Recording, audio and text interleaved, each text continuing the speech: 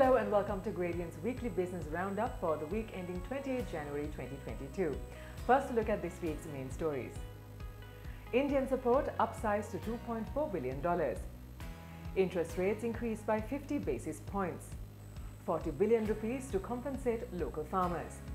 Electricity supply is affected by multiple factors. We will also briefly look at other notable developments that made it across to our news desk and wrap up with the capital markets update. In our top story this week, according to a statement from the Indian High Commission, Basil Rajapaksa, Minister of Finance, and Dr. S. Jaishankar, External Affairs Minister of India, positively noted the extension of 400 million US dollars to Sri Lanka under the SAARC currency swap arrangement and the deferral of ACU settlement of $515 million by two months.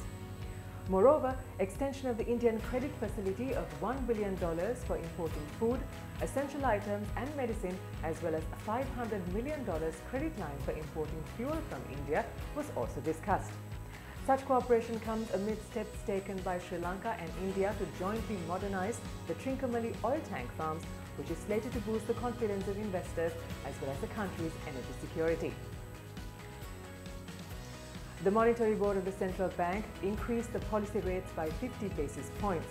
As such, the standing deposit facility rate and the standing lending facility rate are now 5.5% and 6.5% respectively.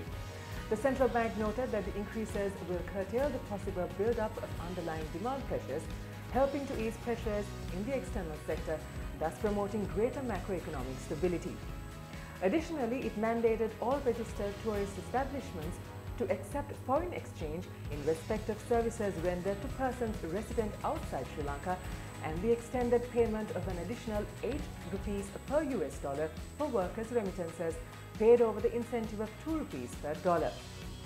Workers' remittances in December was $325.2 million, down 60% year on year from 813 million a year ago. For the full year, remittances declined to a 10-year low of $5.5 billion, down by a significant 23% year on year. Such decline since June this year is largely due to the central bank pegging the USD LKR rate, which is materially lower than the 230 to 250 offered by informal channels. The cabinet approved 40 billion rupees to compensate paddy farmers for losses to their crops as a result of the ban on agrochemicals. According to Mahindananda Aluthgamage, Minister of Agriculture, compensation will be disbursed among 1.5 million paddy farmers who cultivated during the Maha season. He further noted that in some areas the drop in production was 10%, while in certain parts it was around 20 to 30%. Moreover, the Paddy Marketing Board began purchasing paddy from farmers at 75 rupees per kilo, up from 50 rupees. However, According to Daily FT, citing Namal Karunaratne, national organizer of the All Ceylon Farmers Federation, noted that the farming community is not ready to accept neither the guaranteed price nor any compensation unless it is offered in a blanket form. Further stating that cost of production had increased and that a bag of fertilizer is now sold at around 15,000 to 20,000 rupees. On a related note, Sri Lanka is to be granted 1 million tons of rice from China. Sri Lanka is facing a power crisis as the Ceylon Electricity Board was hit by a shortage of diesel, resulting in the shutdown of the Kelanitissa power plant, the 300 megawatt local plant, coal plant being out of commission, and the Sapugaskanda power plant affected due to the lack of supply of heavy furnace oil. The central bank issued funds to obtain fuel from two vessels at the Colombo port, co-cabinet spokesperson Minister Uday Gammanpila said. Accordingly, out of the 37,000 metric tons of fuel in the ships, 10,000 metric tons will be given to the CEB.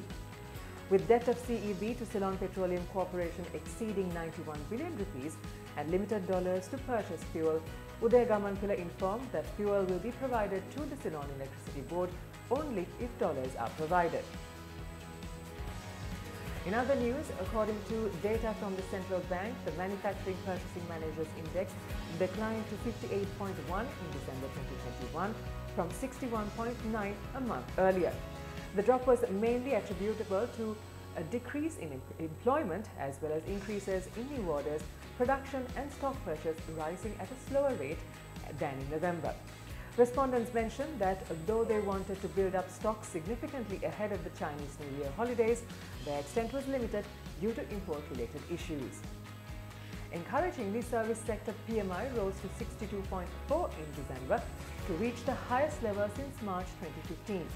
Increases in new businesses, business activities, employment expectations and a falling backlog of work drove the index higher.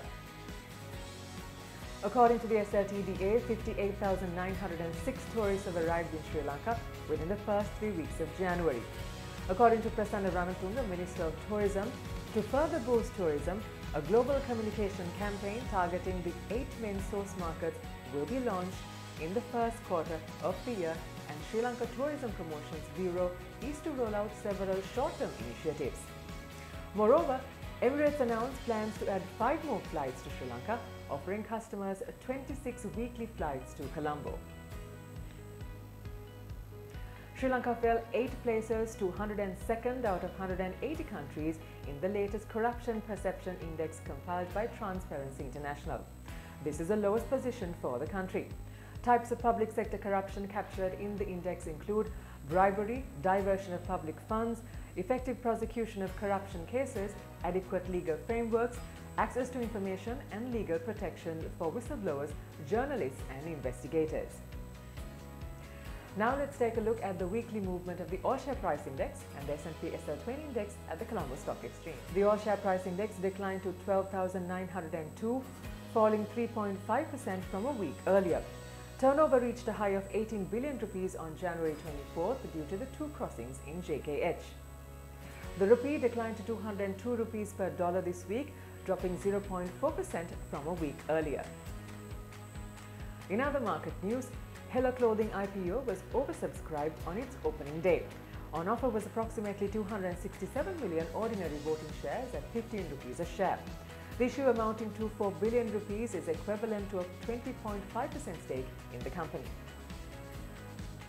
John Keells Holdings plc refinanced its $395 million loan, syndicated loan at Cinnamon Life which was due for payment in July this year.